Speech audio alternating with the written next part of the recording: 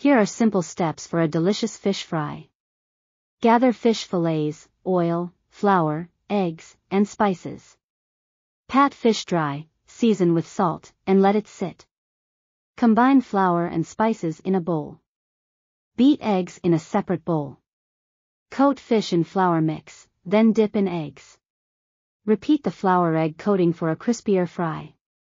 Heat oil in a pan or deep fryer to 350 degrees Fahrenheit 175 degrees Celsius.